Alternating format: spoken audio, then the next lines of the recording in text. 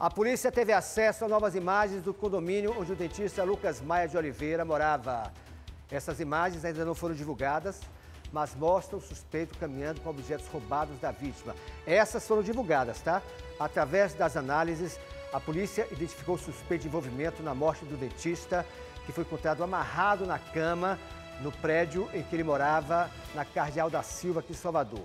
Duas missas foram realizadas em memória de Lucas, uma na Igreja Matriz, em Santo Antônio de Jesus, a terra dele, e a outra aqui em Salvador, na Igreja da Boa Viagem.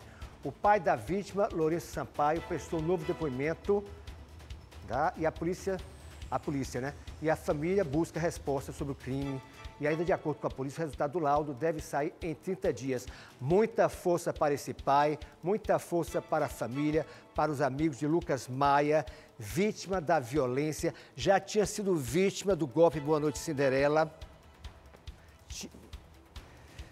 tinha parado de receber pessoas no apartamento, voltou a receber, infelizmente, acabou dessa maneira e que a polícia pegue, pegue o suspeito, né? O assassino, que pegue ele. Pronto. E se você tiver informação, eu gosto de falar, diz que denúncia 181 190. Porque se não pegar esse cara aí, se é que de fato foi ele, né? Mas a suspeita é ele mesmo vai voltar a cometer crime. É aquela história, ah, não deu nada para mim. Já não matou, se já não matou outras pessoas, hein? Se já não matou outras pessoas.